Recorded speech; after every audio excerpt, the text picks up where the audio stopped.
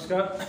कक्षा बारह का सिलेबस हम कर रहे हैं, जिसमें हमने चैप्टर चल रहा हमारा, प्रकाश विद्युत प्रभाव और द्रव्य तरंग के चैप्टर को कंप्लीट हमने कर लिया था। अब इसमें लास्ट पार्ट हम करते हैं, जो सबसे महत्वपूर्ण रहता है चैप्टर का, किसी भी चैप्टर का, जिसमें हम उसमें न्यूमेरिकल डिस्कस करते हैं।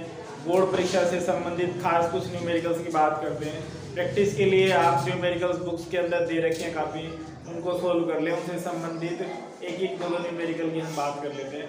किस तरह के न्यूमेरिकल पूछ जाते हैं? इस चैप्टर से शॉर्ट क्वेश्चन पूछा जाता है, कोई बड़ा क्वेश्चन इस चैप्टर से नहीं आता कभी भी। इसलिए ज़्यादा महत्वपूर्ण है सारी छोटी छोटी बातें, क्योंकि एक नंबर पे जो बात पूछी जाती है, वो कुछ भी पूछ ली जाती है तो हमें उसके बारे में पता होना चाहिए।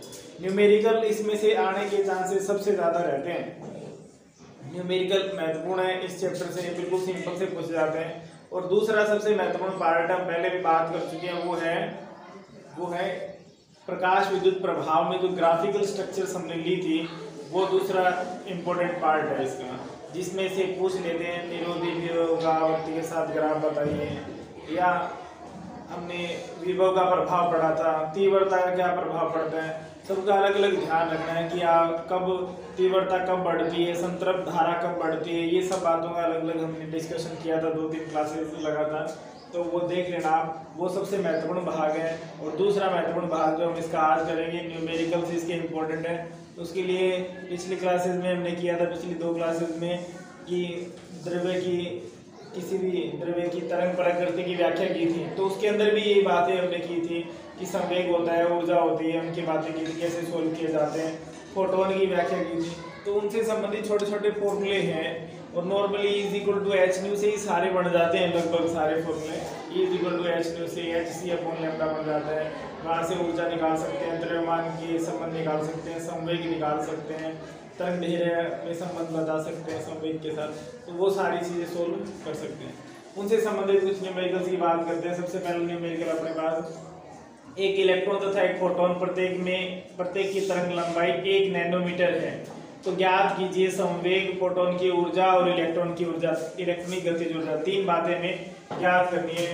सबसे पहले तो हम ले लेते हैं क्या क्या हमें दिया गया है, वो बात कर ले हम। क्या क्या दिया गया है हमें? एक फोटोन तथा इलेक्ट्रॉन प्रत्येक की तरंग लंबाई। हमें तरंग लंबाई लैम्डा का मान दे रखा है एक नैनोमीटर लेकिन हमें ध्यान रखना जब भी हम न्यूमेरिकल में सोल्व करते हैं तो एम केस का यूज़ करते हैं तो नैनोमीटर में नहीं रखना कभी भी उसको बदलना है मीटर में। और नैनोमीटर को जब मीटर में बदलते हैं तो उसकी वैल्यू होती है दस की पावर माइनस नौ से गुणा कर देते हैं। तो एक गुणा दस की पावर माइनस नौ मीटर लिखते हैं, या दस की पावर माइनस नौ ही लिखते हैं, एक ही बात है। अब ये तो आगे लेमडा की वैल्यू हमें दे रखी है क्वेश्चन के अंदर, हमारे पास एक ही बात है। इसमें दे रखा है इलेक्ट्रॉन तथा प्रोटॉन में प्रत्येक की तरंग लंबाई। यानी फोटोन जब इलेक्ट्रॉन जब गतिशील है तो हमने ब्रोगली का प्रकृति का सिद्धांत पढ़ा है। कि कोई कण गति करता है तो उससे तरंग संबंध रहती है। तो यहाँ जब इलेक्ट्रॉन है तो उससे जो तरंग संबंध है, उसकी लंबाई भी इतनी है और वहाँ फोटोन जो है, उसकी भी इतनी है तरंग लंबाई। तो यहाँ दोनों के लिए हमें लेमडा का मान दे रखा है, हमें संवेग याद करना है। तो सबसे पहली बात सोल्व करते हैं संवेग। संवेग के लिए हमने फॉर्मूले डेराइव कर रखे हैं, हम डेरिवेशन नहीं करेंगे, उसके लिए आप पिछली क्लास से देख लें। तो लेमडा इज़ इक्वल टू क्या होता है? एच अपॉन पी तो यहाँ से पी इज़ इक्वल टू क्या आ जाएगा? पी इज़ इक्वल टू आ जाएगा एच अपॉन लेमडा एच का मान रख दो कैलकुलेशन नहीं करेंगे यहाँ कैलकुलेशन आप कर लेना गुणा भाग टाइम खराब नहीं करेंगे अपॉन लेमडा का जो मान है, दस की माइनस नौ. तो इसमें तो कुछ सोल्व करना ही नहीं है, दस की माइनस नौ ऊपर जाएगी, क्या हो जाएगा? प्लस नौ हो जाएगा. तो कितना बचेगा? ये चौंतीस में से नौ ऐड कर दे इसमें तो छः पॉइंट छः दो गुणा दस की पावर माइनस पच्चीस बच जाएगा. ठीक है? ये वैल्यू इसकी आ जाएगी संवेग का मात्रक भी आप लिख दें इसके साथ साथ संवेग का मात्रक क्या है? पी बराबर क्या होता है? एम भी होता है। ठीक है? एम का मात्रक किलोग्राम है बी का मात्रक मीटर पर सेकेंड है। तो इसका मात्रक हो गया किलोग्राम मीटर पर सेकेंड कोई भी वैल्यू लिखते हैं हम न्यूमेरिकल पोर्शन में। तो जो रिज़ल्ट आता है उसमें मात्रक ज़रूर लिखें। केवल उन्हीं के नहीं होंगे जिनके जो मात्रकहीन राशियाँ होंगी जिनके होंगे ही नहीं। कॉन्स्टेंट वैल्यू तो, तो रहेंगी। दूसरी बात हम इसमें सोल्व कर रहे हैं सेकेंड पार्ट है इसका। इसमें पूछा है फोटोन की ऊर्जा।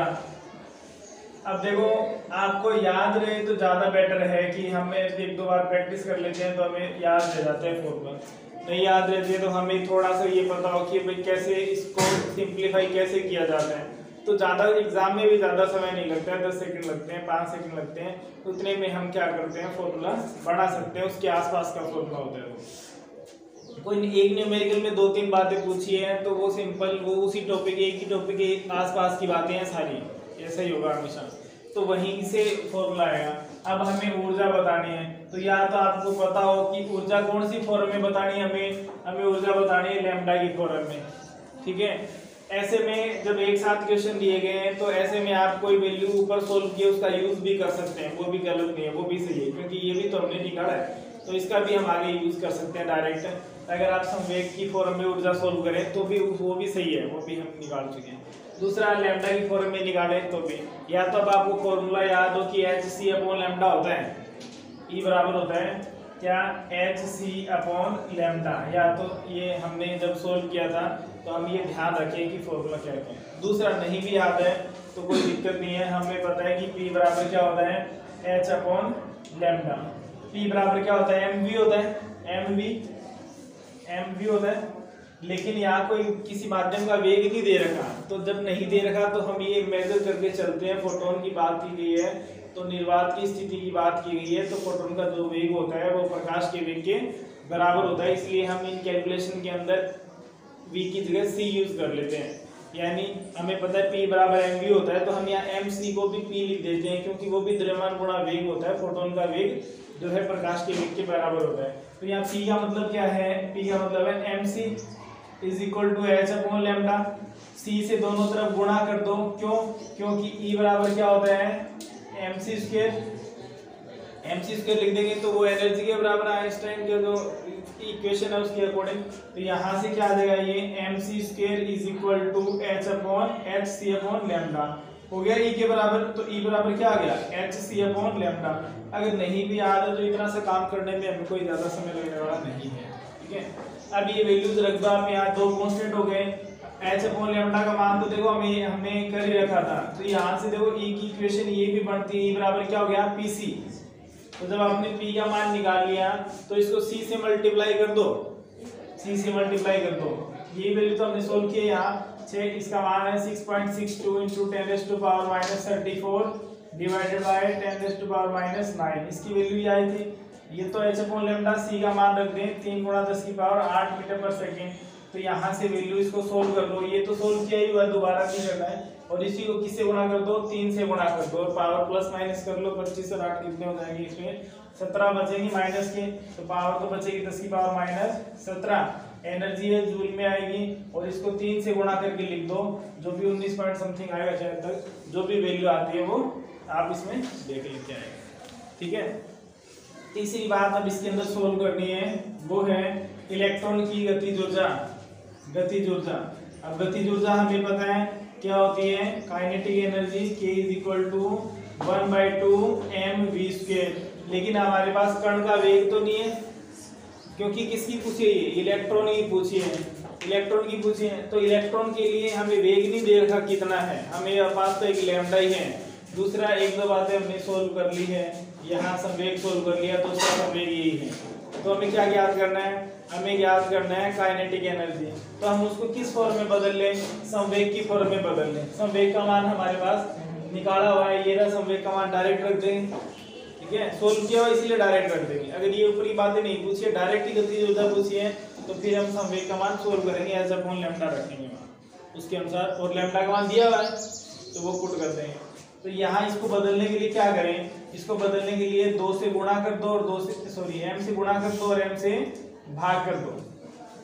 एम से गुणा किया तो क्या होगा? M square V square M square V square उसको क्या लिख सकते हैं? एम वी का होल स्क्र ये पी हो गया then P square divided by two M तो ये हो जाएगा P square divided by two M तो ये क्या हो गया? फॉर्मूला आ गया कि काइनेटिक एनर्जी का P square by two M M पता है किसकी पूछ रही गति ऊर्जा इलेक्ट्रॉन की तो इलेक्ट्रॉन द्रव्यमान दिया नहीं जाएगा। आप तो ये मान के चले, नहीं दिया जाएगा। बाई चांस कभी कभार दे देते हैं।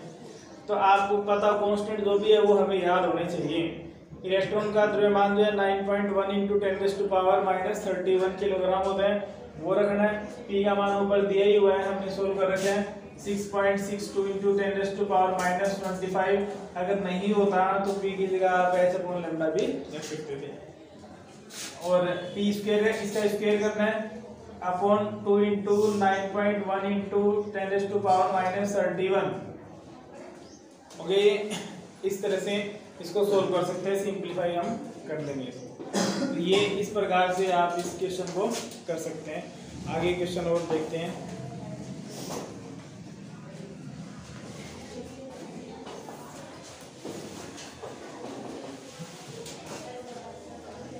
इस तरह के क्वेश्चन पूछे जाते हैं। इसके अंदर हमने तीन बातें सोल्व कर ली हैं। इसी तरह की बातें ज़्यादातर क्वेश्चन आता है एक नंबर में। तो एक चीज़ पूछ ली जाती है। अगला क्वेश्चन देखिए। नेक्स्ट क्वेश्चन अपने पास। पी व क्यू धातु के लिए अंतक विभव वी नोट व आवर्ती न्यू के बीच वक्र दर्शाए गए हैं। किस धातु के लिए दहेली तरंग धीरे व कार्यफलन अधिक होगा? हमें बताना है दहली तरंग धीरे दहली तरंग धीरे क्या होगी? जो दहली आवर्ती के संगत तरंग धीरे वो दहली तरंग धीरे है। ठीक है?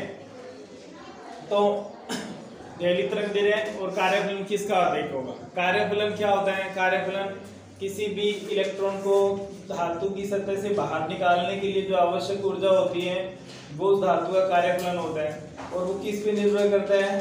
दहली आवर्ती पे। जिसकी दहली आवर्ती ज़्यादा होती है, उसका कार्यफलन ज़्यादा होता है। यानी ये ऐसे क्वेश्चन रहते हैं ग्राफिकल क्वेश्चन जो सारी चीज़ें हमारे दिमाग में रहती हैं। हमें थोड़ा सा उनको एक दूसरे से रिलेट कर देना है थोड़ा सा रिवाइज कर लेना है और फिर हमें उत्तर वही मिल जाएगा। कोई हमें इसके लिए पेन नहीं चलाने पड़ते। हैं और ये क्वेश्चन बोर्ड एग्ज़ाम में आया हुआ है, कौन से मेरे को पता नहीं, शायद पंद्रह के आसपास आया था, पंद्रह में, सोलह में। ये क्वेश्चन आया हुआ है।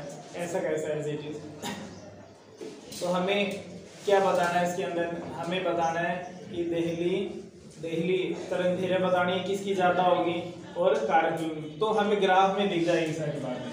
जैसे इसको मैं आप दोबारा बढ़ा देता हूँ, ये।